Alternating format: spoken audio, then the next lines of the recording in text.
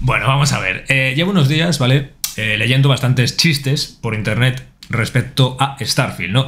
Hay opiniones que son positivas o negativas en las que yo puedo estar de acuerdo o no, pero bueno, eso ya será el análisis que será cuando hable claro y sin pelos en la lengua de lo que pienso del juego, ¿vale? Llevo 30 horas de juego por ahora, bien. Eh, vamos a hablar de lo que ha pasado con Todd Howard, con ese vídeo polémico en el que ha respondido quizás deberías actualizar tu PC. Vamos a hablar de muchas cosas. Bien, primeramente tengo que decir que me hace mucha gracia eh, ver comentarios de gente que realmente lo que estaba esperando es que Starfield fuese un juego que tuviese mm, esa eh, trascendencia social que tuvo Cyberpunk 2077 o Mass Effect Andrómeda o The Last of Us 2 a nivel de polémica, a nivel de problemas, ¿vale? Como no ha sido así, se han quedado a media paja o a medio polvo, ¿no? Cuando te llama alguien por teléfono de repente te has quedado ahí a medias, ¿no? Y como no saben cómo ir, pues empiezan a decir realidades empíricamente que ellos creen que son objetivas y por mucho que se lo repitan en la cabeza, no dejan de ser paridas, ¿no? Por ejemplo, decir que Starfield parece un juego de PlayStation 3, que Starfield parece un mod de Skyrim, que Starfield parece, pues bueno, eh, parece un juego igual, exactamente igual que Fallout 4 a nivel visual. Y como estas muchas, ¿no? Ahí os pongo imágenes. Si eso os parece que es un juego exactamente igual que esto. Pero bueno, a esta gente le pones estas imágenes, le dices claramente, mira cómo se ve este juego a nivel de orografía, a nivel de la paleta de colores, los edificios, la construcción de naves, de complejos, de exteriores, de iluminación, de fotografía, de eh, interiores, ¿no? Cómo están de trabajados y tal. Y aún así son tan especialitos que te siguen llevando la contraria, ¿no? O sea, son, son, son únicos, ¿no? Pero bueno, y aquí no hablo de las caras, ¿eh? porque las caras, eso es para hablar en otro vídeo, que es verdad que es donde más peca el juego, pero eso sería para hablar de otro juego. Está claro que el juego visualmente se ve muy bien. ¿eh? Howard. ¿Qué ha pasado con Toho Howard? Bueno, pues que en Bloomberg han hecho una entrevista en directo. Hace unos días yo puse eh, una encuesta, y lo estáis viendo en Twitter, y dije, bueno, ¿estáis a favor o en contra, no? Eh, de Todd Howard o, del, o a favor del periodista. Y la mayoría estuvo a favor de Todd, considerando que era toxicidad en sí las cuestiones que le estaban preguntando. Bien, yo voy a ser muy claro, vamos a ver, si a ti te ponen en un medio, en vídeo, en vivo, y además, digo más, eh, la importancia que tiene y cómo se maxifica una respuesta o una pregunta totalmente random, que si esto lo dice Todd Howard en un escrito no, no hubiera tenido la relevancia que ha tenido, resulta que le preguntan directamente el periodista por parte bueno, pues de algún fan por ahí, ¿Por qué está mal optimizado Starfield? Además, una pregunta así, tajante, ¿vale? O sea, una pregunta eh, totalmente eh, terminante, totalmente concluyente. O sea, como que esto es así, porque lo digo yo y ya está. Y se manda a tomar por culo todas las reviews, las casi 30.000 reviews de Steam, toda la gente que está diciendo que está bien optimizado, toda la gente que está disfrutando, los 6 millones. Todo por una pregunta de que, oye, ¿por qué habéis optimizado mal el juego en vídeo? Fantástico. Ya hay gente desacreditando el juego por ello aprovechándose otros y diciendo que Tom Howard es un mal educado. No, perdonad, perdonad. Este hombre ha hecho una pregunta totalmente amarillista, totalmente eh, truculenta, totalmente sensacionalista, totalmente tóxica y son muy conscientes que han hecho una pregunta así. Y en el momento además que Tom Howard dice, lo hicimos, en ese momento, si os dais cuenta, Phil Spencer se ríe. Porque tanto él como Tom Howard son conscientes de que el juego ha salido optimizado. ¿Vale? Optimizado. Y lo digo yo, que he jugado a todos los juegos de este año de PC y sé lo que es optimización y lo que no, y lo que ha salido bien, lo que ha salido mal, y lo que hay que eh, entender como un mundo abierto, que ahí están donde hay más cálculos y donde es más complicado. Lo digo yo y lo dice todo el mundo, todos los que lo estéis disfrutando, por supuesto. Pero bueno, parece ser que ahora la pregunta de una persona random que no sabe ni quién es causa controversia, ¿no? Y ahora Todd Howard ha hecho el capullo respondiendo así, pues para nada. Yo si hubiera sido Todd Howard, además de responder, como ha respondido muy bien, me hubiera partido la polla literalmente y también me hubiera echado unas risas como Phil Spencer. Claro que sí, porque es que esta gente es así, o sea...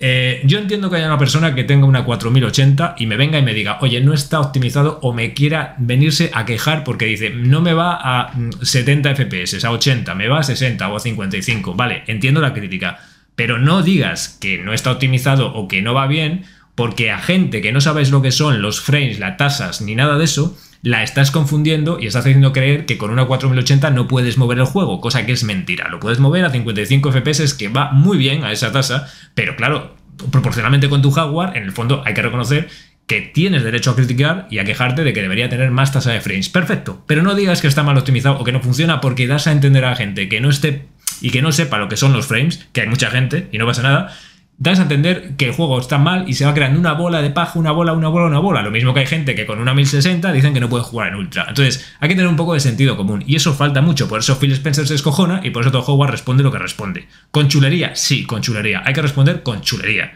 a ese tipo de cuestiones. Hay una cosa que luego dice, y es que dice que es un juego de Next Gen. Y esto lo dice todo Howard en el vídeo. Yo ahí no estoy de acuerdo con él, ¿vale? O sea, para mí la Next Gen no ha comenzado todavía. Y la Next Gen no se mide solamente en mayor tasa de FPS. No, ni en pequeños detallitos como... No, vamos a ver. Eh, hay juegos que técnicamente son infinitamente más potentes que Starfield. Starfield a nivel técnico no es ninguna bestia parda ni es nada. Sea, quiero decir, eh, juegos potentes a nivel técnico son Horizon Forbidden West, son Red Dead Redemption 2 en la versión de PC, Cyberpunk 2077 en la versión de PC, The Last of Us Parte 2, por ejemplo. Esos juegos técnicamente son más potentes que Starfield. Y además son intergeneracionales, para remate, ¿vale? Eh, Starfield realmente es un juego que lo bueno que tiene es que sin ser técnicamente un, juego realmente top, sí consigue eh, envolver, salvo las caras, envolver a nivel visual o en su espectro, en su conjunto, ¿vale? Un juego muy vistoso realmente, además con iluminación eh, global. y lo hace mostrando uno, un aspecto incluso a veces muy fotorrealista, muy detallado, ¿vale? Y manteniendo una buena tasa de frames equilibrada sin producir stuttering. Es verdad que esto no es un mundo abierto Starfield eh, a nivel de manual, porque eh, es un juego espacial y en el momento en el que te vas a varios planetas, ahí ya estás desahogando muchos recursos, muchos cálculos, más luego todas las cargas que hay cuando te metes en el espacio, por ejemplo, en, eh, una, una cinemática que se forma, ¿vale? Cuando te estás metiendo en un artillero, en una nave, cuando te estás metiendo, por ejemplo, dentro de un planeta, la cinemática te metes cinemática para subir, eh, cinemática para entrar en un tren de, eh, eh, de Atlantis, para entrar en un ascensor, para entrar... Sí, evidentemente todo eso va desahogando más. Eso le suma los planetas y no es un mundo abierto, digamos, de manual, de la vieja escuela, como puede ser un mundo abierto tipo, pues ya te digo, el del Ring, en ese aspecto, todo el mapa en sí o Red Dead Redemption 2. No lo es. Y eso ayuda a que tenga mejor tasa de frames. Le quitas además que no tiene ray tracing, que tiene una muy buena iluminación. Perfecto, bien. Pero una cosa es eso y otra cosa es decir que está mal optimizado. O sea, quiero decir que una persona se eh, le meta por estar con el run run de que está mal optimizado. Oye, ya digo, cada uno es libre de decir lo que quiera, ¿vale? Yo eh, os puedo poner mil ejemplos de juegos de mundo abierto, porque lo que no voy a decir es coger mundos que no son abiertos y decir que están mejor optimizados que Starfield este año, porque no tiene sentido. O sea, quiero decir, ¿Atomic Heart está mejor optimizado que Starfield? Sí, pero Atomic Heart no es un mundo abierto, pese a que hay algunos medios que se han eh, ceñido en decir que era un mundo abierto cuando eran unos mapas, y son unos mapas de tránsito, no es un mundo abierto, ¿vale? Es un juego mucho más pequeño, está mejor optimizado, lo mismo que Resident Evil 2, perdón, Resident Evil 4, Resident Evil 2 también, lo mismo que Dead Island 2 también, que ese no usa iluminación global, pero se ven unos interiores fotorrealistas de la hostia. Hay que compararlo con mundos abiertos. ¿Qué mundos abiertos han salido peor optimizados? Día 1 que Starfield. Día 1 que Starfield. Peor optimizados día 1 que Starfield. Así. Hogwarts Legacy en la versión de PC. ¿vale? Gotham Knights, que ya la gente ni se acuerda de él, del año pasado. Gotham Knights, mal optimizado también. Jedi Survivor, que sin ser un mundo abierto, simplemente cobo, ahí es donde baja una tasa tremenda y encima te pone al micro a tomar por culo de grados. Tremendo, o sea, optimizado como el culo. The Witcher 3 cuando salió estaba optimizado, peor. Peor, estoy hablando de juegos de mundo abierto los primeros días de salida. Todos los juegos anteriores a Bethesda, sean los Fallout o sean los Elder Scroll, me da lo mismo. Peor optimizados. ¿Qué más juegos, por ejemplo? Cyberpunk 2077. Por supuesto, Arkham Knights. No sé si os lo recordáis, para no recordarlo, ¿no? Wild Hearts. Lo mismo, de este año, de comienzos de este año, también mal optimizado. Redfall, que para el apartado técnico que tenía, madre mía. ¿eh? Esos desequilibrios que tenía con la tasa de frames. O sea, hay más juegos de mundo abierto que salen peor optimizados o con muchos más problemas que lo que ha salido Starfield. Hay que tener cojones, ¿vale? Para eh, criticar y decir que está horriblemente optimizado Starfield. Que haya gente que le dé problemas a Starfield, ¿vale? Es de recibo, es normal. A todo el mundo, tú si te metes en Steam, te metes a ver la gente, todos los juegos va a haber gente que va a tener craseos, todos los juegos va a haber gente que va a tener bajada de frames, todos los juegos va a haber gente que va a tener una serie de parones, artifacts, stuttering y demás cosas. Perfecto, yo ahí no entro. Glitch, lo que, lo que tú quieras, pero, pero, eh, hay una realidad, que eso es obvia. Y repito, Steam no engaña, Steam no engaña. Ni Steam ni los foros. Va mejor de lo que mucha gente quería que fuera, ojo lo que estoy diciendo, quería, porque había gente que no quería que este juego fuera así, quería que fuera mal, que empezara siendo mal optimizado y querían una repetición de lo que pasó con, con eh, por ejemplo, Cyberpunk 2077 o que se formara una polémica gorda, ¿vale? Porque hay gente que no le divierte en los videojuegos.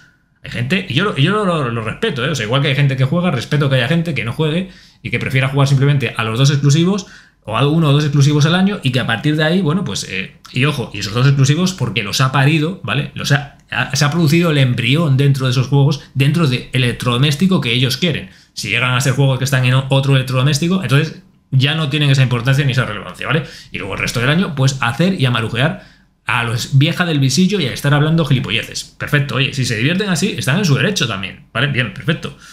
Pero eh, hay cosas que no tienen sentido. O sea, decir, decir que Starfield se ve mal es pecar de perogrulladas, pecar de inocencia. Y eh, decir que Starfield es un horror de optimización, lo mismo, ¿vale? Entonces, mm, perfecto lo que ha hecho Todd Howard riéndose, bueno, riéndose no, sino eh, dando la contestación que ha dado, porque es que ante una pregunta así, ¿qué contestación vas a dar? ¿Qué vas a decir? Evidentemente, ¿qué vas a decir? Y Phil Spencer, pues normal, se ha reído con la calma y la tranquilidad sabiendo que eso no es una realidad. Descuida que si el juego estuviera mal optimizado, ni Phil Spencer se hubiera reído, ni Todd Howard hubiera dado esa contestación porque serían conscientes de lo que hay en la red. Pero lo saben, Todd Howard no es tonto, lleva ya muchas décadas en la industria, ¿vale? Entonces, es lo que pasa, ¿no? En fin, eh, yo luego ya entiendo que haya gente que no le guste Todd Howard, que se le guste, que digan que es un mentiroso, que no lo es, lo que quieran. Yo ahí ya no entro, eso me la suda, me da igual, ¿vale? Pero yo me centro en el vídeo, en lo que ha pasado con el vídeo. Ha sido, además, me parece que ha hecho lo que tenía que hacer, de dar la respuesta que tenía que dar ante una pregunta tan tóxica como esa. Así que, en fin, nos vemos en un próximo vídeo. Gracias.